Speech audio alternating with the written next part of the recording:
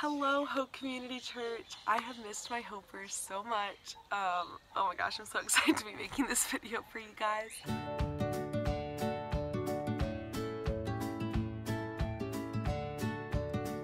Um, so I am currently at month one debrief. Um, we have uh, these next few days to literally just sit and process with the Lord um, what He's been teaching us, what month one has been like, what strengths, weakness, all this stuff, um, which has been so, so good. And so I figured since month one is over, I'll make you guys a month one update. So I'll be doing this every single month um, just to give you a short update of my life because you guys have been um, just so, so supportive um, of me going out and I just wanted to tell you guys about what's been happening and what God has been doing.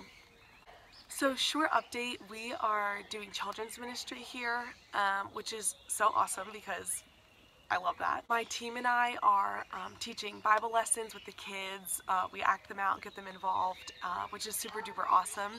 And a lot of times uh, ministry just looks like holding a child and for hours on end and them falling asleep on you. I'm currently six days out of seven days that I've held this one little boy. He has fallen asleep on me, so it's going pretty well. It's really awesome because I have actually been able to use the four bracelets um, that we used at VBS to share um, the gospel with four kids and it's just so awesome because it's just like on your wrist and they love playing like with your rings or your necklaces like just your jewelry and so that's honestly been such a good avenue to share um, the gospel and no fruit of that has uh, come yet but I know that that's also not my job. My job is just to plant those seeds um, and then God will change their hearts um, if it's His will at that time. So on the topic of planting seeds, um, smooth transition, um, my team and I uh, actually went and lived on a farm la last week, um, right before we left for debrief, and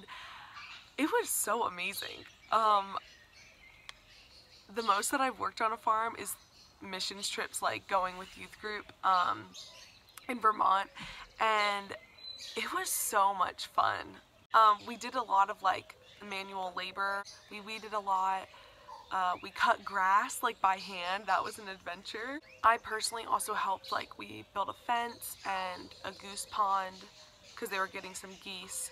Um, which was very hard because it has not rained here in two months. They're in a little bit of a drought and um, and so the ground was really hard. Or we were talking with one of the workers and we were like, this ground's really hard. Like we literally had to like pickaxe it and then shovel it up. Um, and it was also really hot out. It was just a lot. And, um, and he was like, what do you mean? Like, this ground's not hard, you're just weak. And we were like, okay, thank you for that.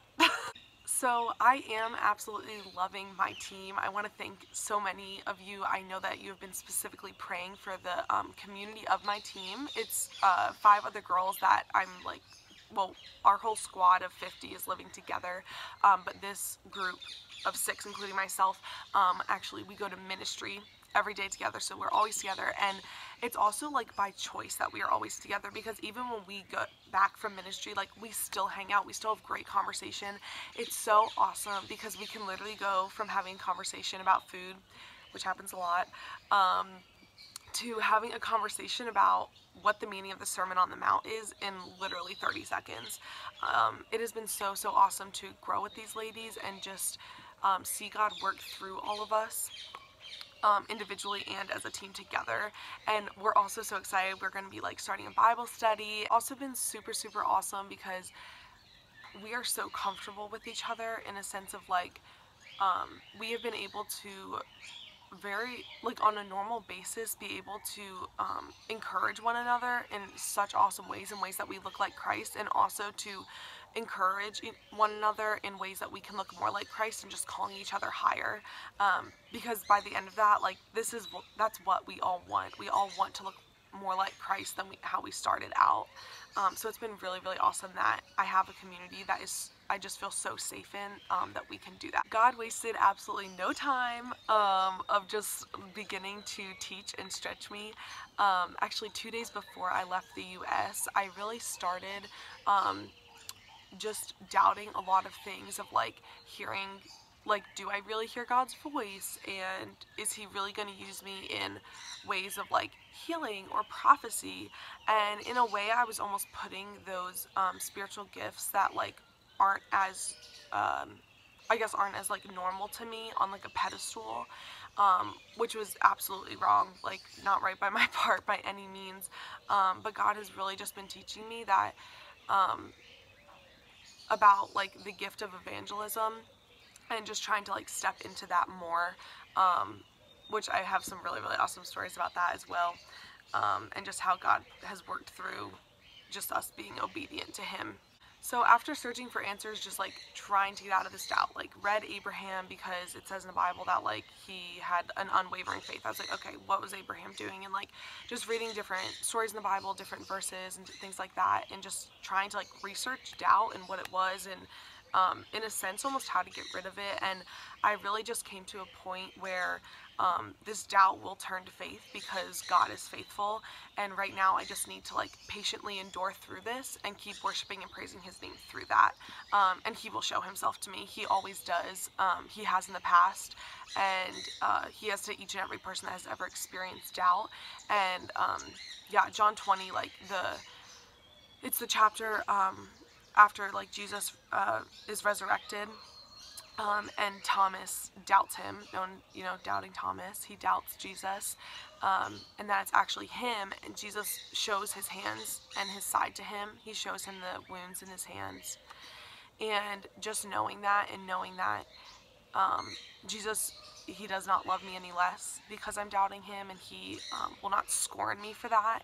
Obviously, he wants me to fully believe him, but through this time of doubt, I know that he will reveal himself to me just as he did to Thomas. So yeah, that has been month one. There are so many stories. Um, I don't mean to do like a self-promo thing here, but like I really have been writing a lot on my blog, um, being very vulnerable on there, so I really encourage you guys to check that out, even for more stories about evangelism and just like things the Lord's been teaching me about ministry and things like that. So I just wanted to ask prayer for continued health. Um, I have not gotten sick thus far, which is absolutely amazing. Um, that has been such a blessing because so many other people have experienced that. So I just want to ask for continued um, health for not only me but my team and my squad, um, because typically when one person like gets sick, everyone does, um, or it spreads very quickly also just please pray that like God would reveal himself to me. I know that he will, um, but just that I would begin to grow in this and this doubt would turn um, to faith in his timing, not mine. I'd love for it to happen tonight, but gotta submit to his will.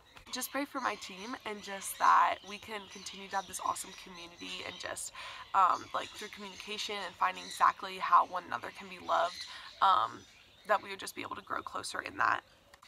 So yeah, um, my mom has, well, my mom and dad um, have told me some updates about um, what's going on at church and just um, some really exciting news, some sad news. Um, I just want you guys to know how much I appreciate and love you guys. Um, thank you so much for your support and prayers. It literally means so, so much to me and it's just so visible um, that their prayers have been sent up to God, that you guys have been interceding for me and I just want to thank you so much for that. So yeah, um, I love you guys so much and hope everything is going well. Um, but just in short, I am doing well. God is teaching me so much um, and just finding such joy here. So yeah, I love you guys. Have an awesome, awesome day. Um, God bless. Bye.